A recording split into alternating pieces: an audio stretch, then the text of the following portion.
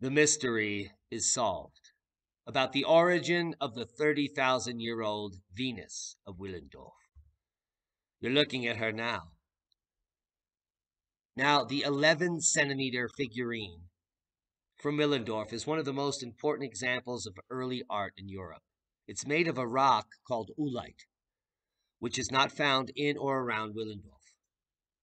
Anthropologists, geologists, and prehistorians have now found out, with the help of high resolution tomographic images, that the material from which the Venus was carved likely comes from northern Italy.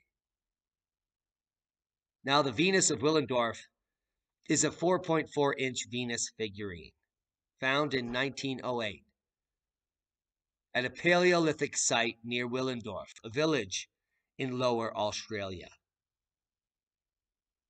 In a new study published by the University of Vienna in collaboration with Vienna's Natural History Museum, researchers applied high resolution tomography that suggests that the Venus originates from a region in northern Italy.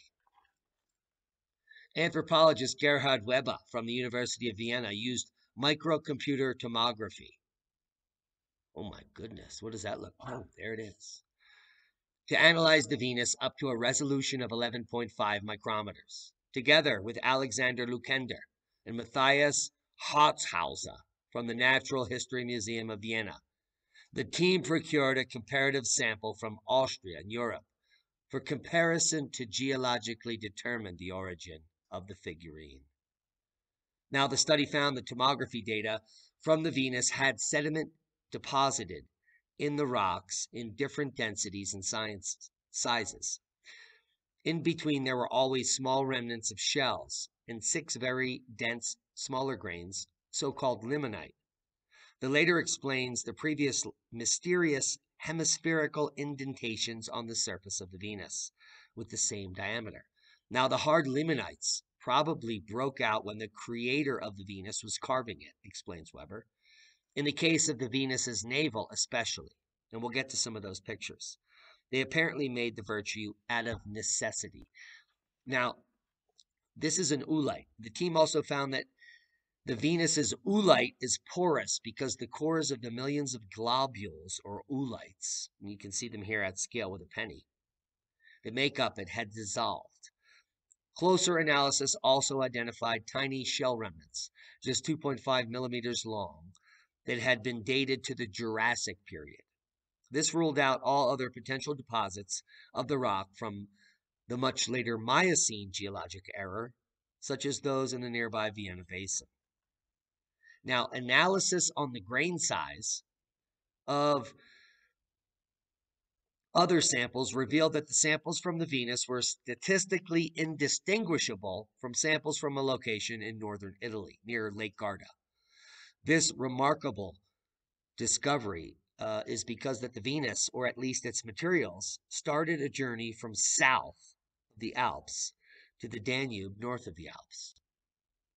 People in the Gravettian, a tool culture of the time, look for an inhabited, fair, favorable locations. When the climate or the prey situation changed, they moved on, preferably along rivers, explains Weber. One of the two possible routes from the south to the north would lead around the Alps and into the Pannonian Plain and was described in simulations by other researchers a few years ago. The other way to get to the Lake Garda is to the Wachau would be via the Alps.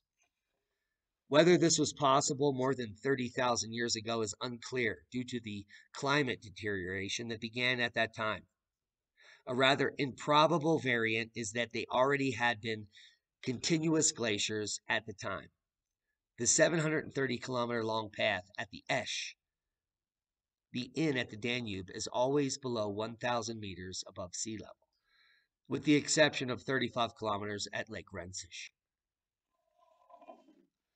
Now, the statistics clearly point to northern Italy as the origin of the Venus oolite. Nevertheless, there is another interesting place for the origin of the rock, and it would be in eastern Ukraine. More than 1,600 kilometers as the crow flies from Willendorf.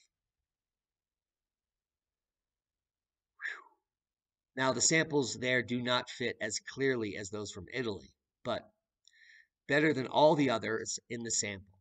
An interesting connection here the Venus figures were found in nearby southern Russia, which are somewhat younger, but look very similar to the Venus found in Austria. Genetic results also show that people in Central and Eastern Europe were connected to one another at this time.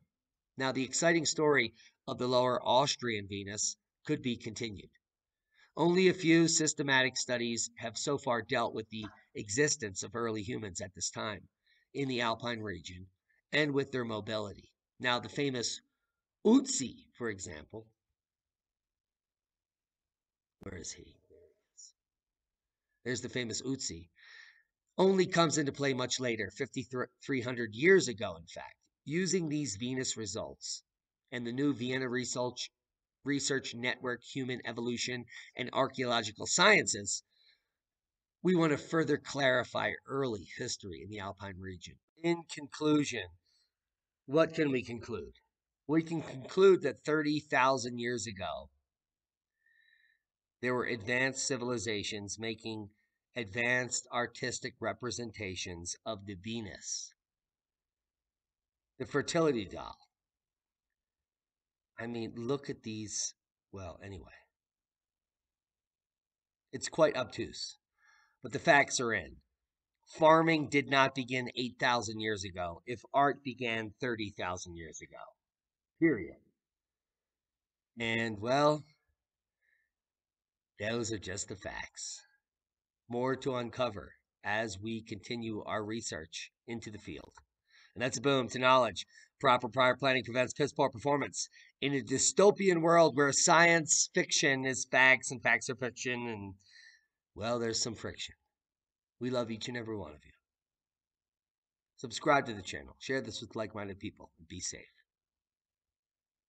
Yeah.